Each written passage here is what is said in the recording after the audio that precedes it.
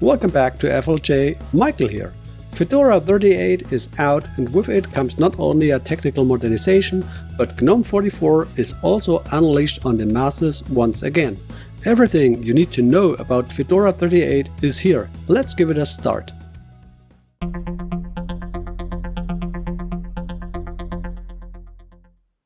Fedora is one of the mainstays in the Red Hat cosmos. Behind the Linux distribution Fedora is the Fedora project, which is mainly financed by Red Hat. The point of this is that Red Hat pursues a maintenance of its value chain. An essential part is Red Hat Enterprise Linux RHEL. Fedora itself does not contribute directly to this, but the indirect contribution is significant because by funding Fedora through money and people, they want to ensure a solid foundation for RHEL.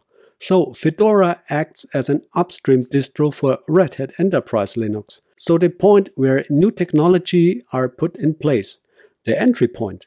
For you and me, However, there is also a great Linux distro that is available free of charge and covers much more than just the desktop and the form of the Workstation edition. Fedora offers the following editions in addition to the Workstation. Fedora Server as a server operating system, Fedora IoT as an open source platform for Internet of Things ecosystems, Fedora Cloud as a minimal OS for public and private cloud environments, Fedora CoreOS as minimal, automatically updated, and container focused OS. What's new? Linux kernel 6.2, GNOME 44, Unified Kernel Image UKI to secure boot process, OSTree native container, updated packages like Ruby 3.2, GCC 13, or PHP 8.2. The minimum requirements for Fedora 38 is a 2 GHz dual-core processor or newer, 2 GB of RAM or more, and 15 GB of disk space or more. More is always better here. By the way, the 2 GB RAM refers to a sparse spin, for example the XFCE edition. For Fedora with GNOME, I would recommend at least 4 GB, better 8 GB or more. Fedora is a semi-rolling distro, means the middle between LTS and rolling, so newer than LTS but not quite as much movement as rolling. Don't misunderstand, Fedora always delivers the latest kernel and important components are already refreshed, but not every package as it is the case with rolling distros. Fedora supports 64-bit architecture and ARM. The package manager DNF is included to manage the RPM packages. If you want to get started with Fedora, you have to download the ISO image and burn it to a USB device or DVD. Once the ISO is completely downloaded, you should verify it. I have already shown you how to do this in a separate video. Just have a look in any case of questions. The URL is in the description. Once the ISO is on your hard drive and also be successfully tested, you can install. In order not to go beyond the scope of this video, I will publish a separate installation video for Fedora. There I show step by step the encrypted installation, including the setup of correct Btrfs subvolumes. This is important if you want to create snapshots, e.g. with timeshift, etc. You're welcome to take a look at the installation process. I think this would clear up any ambiguities. If there are any uncertainties, just switch on here as well. Let's come to important hacks and commands. For me, the following commands are the most important in Fedora. System update, sudo dnf update. Apply security patches only, sudo dnf check minus update minus minus security refresh flatpak, sudo flatpak update. The fully automated chain looks like this, sudo dnf update minus y and end sudo flatpak update minus y. Just a hint, applying only security patches is particularly interesting with CentOS and RHEL as their focus is on stability in the server environment. With Fedora the focus is different, so I would not recommend only applying security patches, but keeping all packages up to date as Fedora offers. If the frequency of Fedora is too high for you, this distro is probably not the best choice for you and sooner or later you may have a look at a different LTS distro. Fedora is especially interesting for developers who need the latest interfaces etc, but also for ordinary desktop users who find the package levels of other LTS distros like Ubuntu or Debian too old and at the same time and don't want as much movement with old packages as it is present with rolling distros. There everything is constantly in motion. This means newer packages, but still a minimum RHEL quality standard at Fedora. My Fedora 38 installation occupied 5.9 GB of the disk. The initial benchmark value in memory consumption was 1 GB. The number of installed packages after the first start was 1802. Let's have a look what we have at the moment, what measurements we have 6.6 gigabytes from the disk occupied. Currently there are 1.6 gigabyte memory occupied. And at the moment there are 1811 packages installed. And currently there is no Flatpak package installed.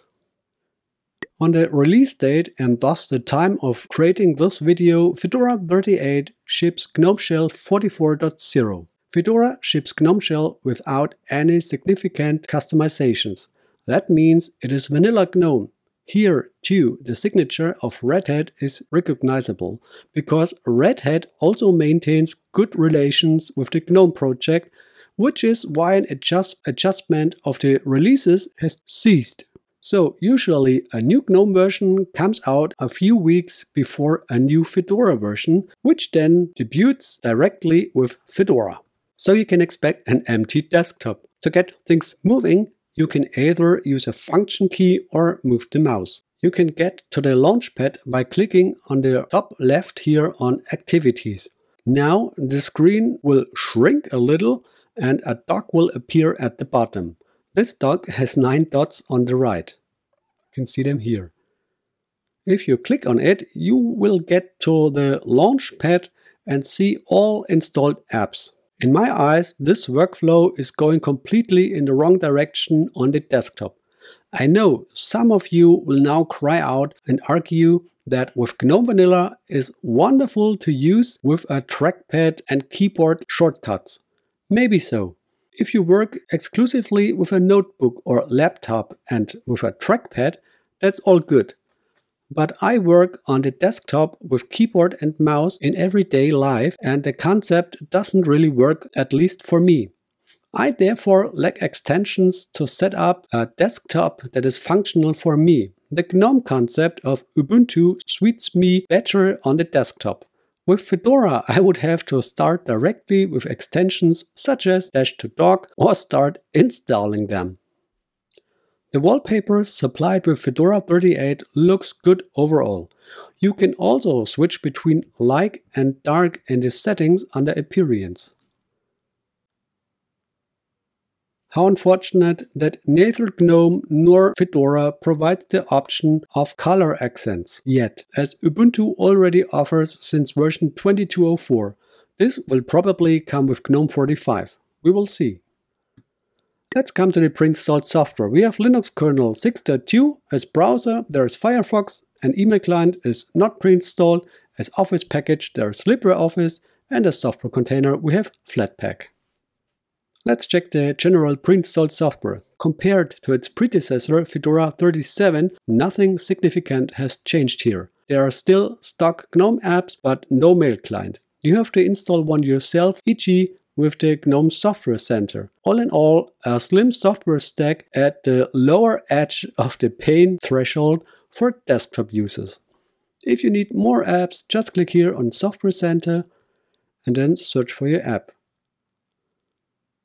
For example, if you want to install LibreWolf, just click here and then install. You can also check the source. Here it is a Flatpak package. If you need more software, you can find it here. Fedora has some kind of speciality to handle third-party software sources. And at GNOME Software Center, click on Main menu and then on Software Repositories. Just wait a second. And then you can, on the one hand side, check all available repositories. And on the other hand side, you can deactivate repositories you don't need. For my example, I would deactivate Google Chrome as I don't use this browser, so I can show you how this process works. Enter your password, and here we go. Google Chrome is now not active as a package source. The handling of Btrfs subvolumes is still debatable. So if you install without the deviations I suggested during my installation regarding subvolumes, you cannot create snapshots with a tool like Timeshift after the installation. Unfortunate, but doesn't seem to bother the majority of Fedora users, so you don't change it right at the beginning during development. A graphical package management is still not offered, either GNOME Software Center or down into the console with DNF. Not a disaster, but it could be more comfortable. DNF Dragora is still just a playground and not suitable for productive use in my eyes. I personally have reconsidered my opinion on the half yearly new versions. Currently, it's fine for me. It fits the target group well, and so everything is fine from my point of view. Let's come to the closing notes. Fedora 38 delivers clean results and performs well. The system is agile, reacts quickly, and that in a VM. I did not encounter any seconds of pause or the like. Kernel and software are up to date, which is something to look forward. However, there are no spectacular new features of course, you benefit from all the innovations in GNOME 44, but in my opinion, GNOME 44 is more of a refined version without the big hits. That is by no means a bad thing. I think it's perfectly fine to include a version that stabilizes rather than revamps. As a Fedora user, you can expect a rounded package full of up-to-date tools, drivers and apps. Fedora 36 will probably end of support in the near future. You will then have to switch either to Fedora 37 or to the new Fedora 38 version. In half a year, in October, Fedora 39 will be released. Let's see what the developers come up with then. For the summer 2023, you are well supplied and positioned with Fedora 38. I am a fan of Fedora and in my eyes it is a pleasant and modern version. What are your impressions of Fedora 38? Feel free to shout your opinions in the comments. Thank you for the kind attention. If you like watching Linux videos, then a free channel subscription is absolutely worth it for you. Just subscribe to my channel, give a thumbs up and press the bell. Then you'll get regular updates and we'll both get something out of it.